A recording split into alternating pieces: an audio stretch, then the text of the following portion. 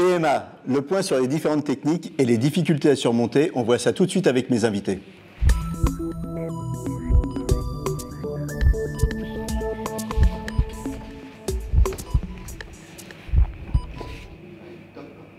Professeur René Friedman, vous êtes obstétricien et gynécologue. Vous êtes euh, le, papa, hein, entre guillemets, du premier bébé éprouvette français en, en 1982. Amandine, c'est vous? Comment elle va, Amandine? Non, le papa, c'est le papa. Moi, je, suis, euh, je suis le médecin. Hein. Comment elle va, Elle va bien. Elle va bien. Alors, on vous doit aussi les premiers bébés euh, français à partir d'ovocytes congelés, hein, et vous plaidez notamment pour euh, la PMA pour toutes les femmes et l'autorisation encadrée de l'analyse génétique de l'embryon dans le cadre d'un grand plan de fertilité. On y reviendra à la fin de, l'émission. Maria Assik, merci d'avoir accepté notre invitation. Alors, vous, en 2007, euh, vous découvrez que votre mari euh, est, stérile, pour simplifier, on va dire ça. Euh, en fait, il est atteint d'une oligo-asténo-tératospermie. Et à partir de ce moment, votre vie entière a été tournée vers la PMA. Vous quittez votre, votre travail et finalement, vous donnez naissance en 2010, à l'âge de 30 ans, à un enfant, un petit garçon, une petite fille? Un petit garçon. Un petit garçon. C'était un parcours éprouvant. Si c'était à refaire, vous le feriez? Alors en effet, ça a été un parcours éprouvant et si c'était à refaire, je le referais effectivement. C'était éprouvant euh, à quel niveau? Euh, dans toute l'organisation que ça nécessite, euh, puisqu'il y a énormément de, rendez-vous médicaux qui sont dans un premier temps liés à mon cycle menstruel. Donc il faut que je sois disponible assez rapidement pour tous ces rendez-vous ce qui nécessite des absences injustifiées euh, du côté de, mon travail.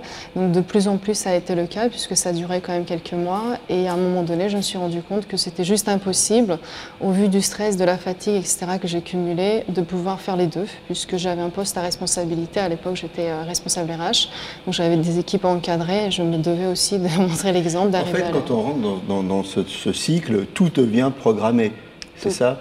Y compris la vie de couple. Ça c'est un peu embêtant non? Euh, en effet, alors j'avais un calendrier pour tout un tas de choses, en effet. ça enlève de la magie parce que certains euh, actes, euh, médicaux nécessitent en fait à ce qu'on suive tout simplement un calendrier pour avoir des résultats. Donc effectivement, ça enlève de, la magie au niveau du couple. Ça vous a posé des problèmes? Oui, je dirais qu'en termes de communication, ça a été compliqué puisque c'est un choc pour nous deux et on ne sait pas vraiment comment gérer ça. Donc ça a été très compliqué puisqu'on s'est un petit peu renfermé chacun de notre côté. Puis finalement, on a réussi à nous rattraper plus tard puisque avec des années. Et puis on a eu notre fils hein, de toute façon. Donc, c'est parfait, tout est bien qui, euh, qui finit bien. Alors euh, pendant le traitement, euh, vous m'avez dit en préparant l'émission. bon, je, suis ravi d'avoir eu mes enfants et je remercie le, médecin qui était une femme de m'avoir aidé à avoir ses enfants. Mais euh, j'ai souffert quand même d'un manque d'humanité, d'un manque de, compréhension. Alors en effet, euh, on a été en fait euh, par le chef de service de cet hôpital et le biologiste du côté de, mon mari qui était vraiment très très humain, j'avais strictement rien à dire sur lui. Par contre, la, personne en question qui nous a suivis, enfin tout simplement, elle nous recevait 15 minutes, elle nous donnait des papiers d'examen on n'avait pas du tout le droit de lui poser des questions, puisque dès lors qu'on le faisait, elle nous disait écoutez, euh, je ne suis pas là pour répondre à vos questions, vous avez mes assistantes, donc vous faites ça avec elles. Et on ressortait de là avec toute une paperasse, on ne savait pas ce que c'était, on ne savait pas quoi faire, les assistantes n'étaient pas disponibles pour le coup. Et donc, euh, on était un petit peu euh, voués à, chercher les informations de notre côté. L'humanité, c'est important? C'est fondamental.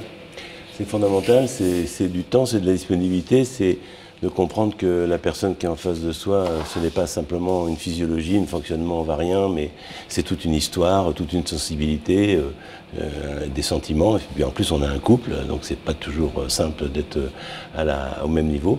Mais je comprends parfaitement ce qui est dit. Hein, je veux dire. C'est pas ça parce que vous, dites on a un couple, donc il faut gérer, par exemple, l'infertilité pour un homme, c'est quand même un un truc, ça, ça, remet sa virilité parfois en question. Euh, donc oui, ça à gérer tout ça. C'était avant un peu, parce que là, quand même, les choses ont un peu évolué. On comprend bien qu'il y, a des distinctions, mais c'est aussi difficile pour un homme que pour une femme. Peut-être plus aujourd'hui pour une femme, au sens où il y a cette horloge biologique qui est vraiment qui tombe que sur la femme, pas chez l'homme, euh, et, qui, impacte la vie professionnelle, qui impacte euh, le, choix de vie, parce que Aujourd'hui, comme vous le savez, les, femmes ont des enfants à partir de 30 ans et puis elles en ont plus, enfin avec une grosse difficulté à partir de 40. tout ça, ça fait euh, une dizaine d'années dans laquelle il faut.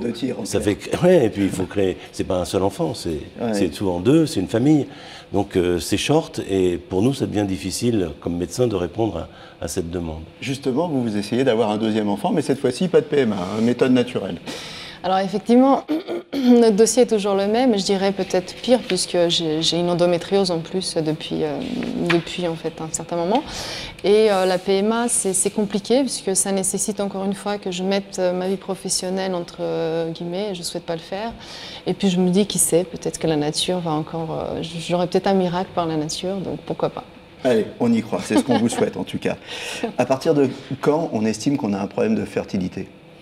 Bah, à partir ça dépend de l'âge, justement. Hein, ça dépend de l'âge, parce qu'il est évident que quand on est jeune, on, peut attendre un peu, parce que la, reproduction humaine, elle n'est pas tellement performante. Il faut, euh, il faut euh, c'est 25% de chance chaque cycle, donc c'est pas beaucoup. Donc voilà, maintenant quand on arrive dans les âges de 35, 36, 37, faut déjà, déjà on peut faire un bilan pour voir ce qui se passe. Ça ne veut pas dire forcément qu'on passe tout de suite à la médicalisation mais on peut déjà faire, on essaye en tous les cas de faire un état des lieux, puis des, conseils et puis des, préventions, on va y revenir tout à l'heure.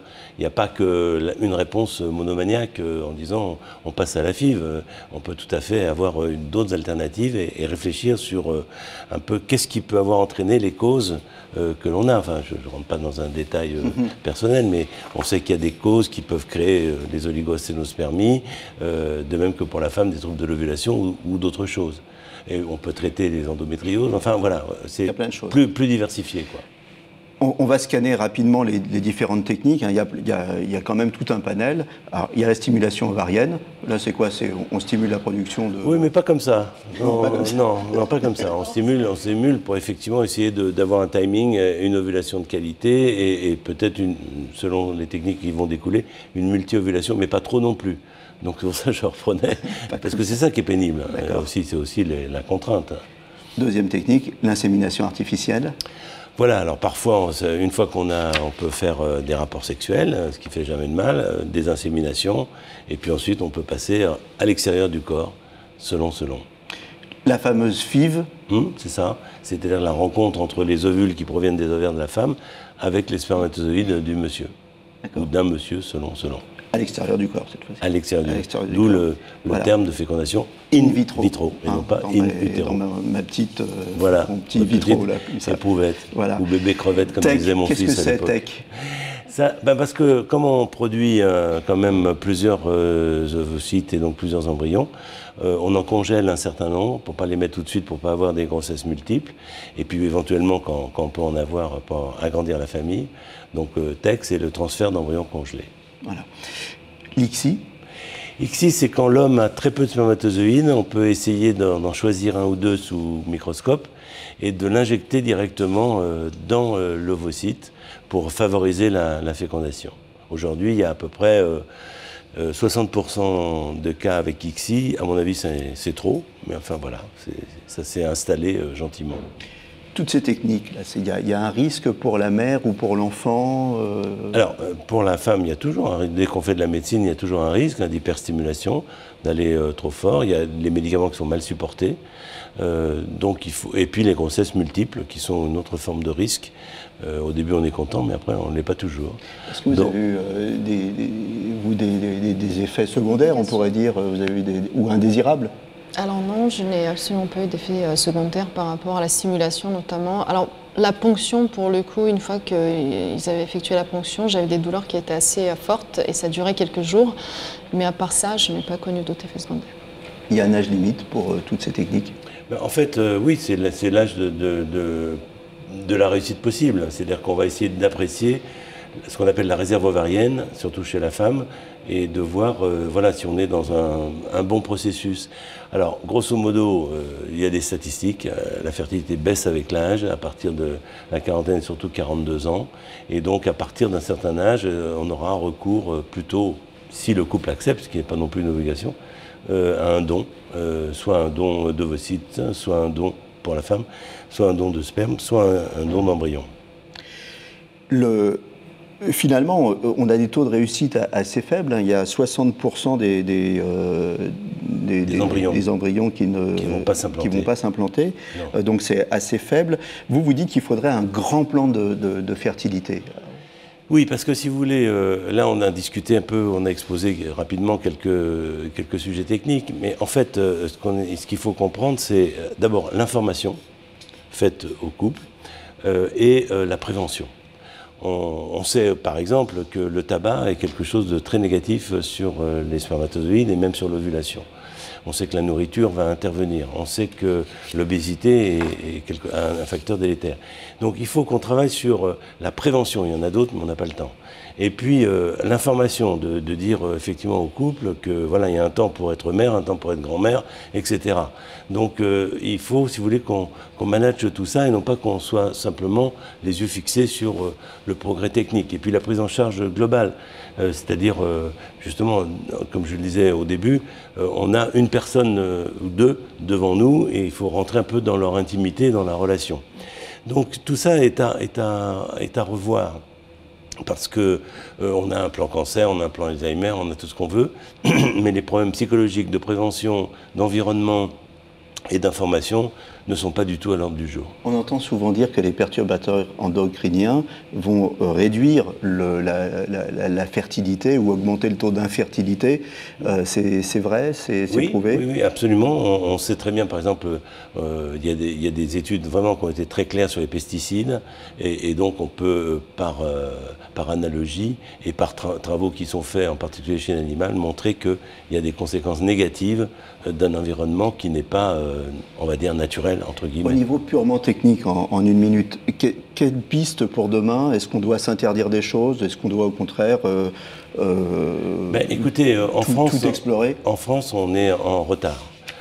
actuellement, on l'était en avance, mais maintenant on est devenu en retard. C'est-à-dire qu'il faut qu'on puisse comprendre pourquoi est-ce que un embryon va s'implanter et celui-là qui lui ressemble comme deux gouttes d'eau ne va pas s'implanter. Et arrêter de faire courir à la femme des gestes pour rien ou des attentes inespérées. Donc il faut qu'on ait un accès au statut euh, génétique de l'embryon. Ça, c'est une des revendications des médecins. Euh, très important. Il faut qu'on réforme le don d'ovocytes et empêcher euh, les femmes et les couples d'aller à l'étranger. Il n'y a aucune raison, c'est très bien faire et il faut qu'on révise tout ça. Voilà, je ne peux pas rentrer dans les détails parce que vous me faites signe que je n'ai pas le temps, mais concrètement, ça veut dire qu'il faut qu'on se mette au-dessus d'une table avec les, pouvoirs publics, s'ils le veulent bien, les médecins, les biologistes, les psychologues, les pédiatres. Enfin, vous voyez, c'est pluridisciplinaire, c'est une action fantastique, mais il faut tous y aller. Merci professeur. Merci Maria hein, pour votre témoignage. On vous souhaite le meilleur, on vous souhaite un, futur bébé. Merci. Voilà, à bientôt euh, sur euh, le plateau. Et euh, d'ici là, portez-vous bien.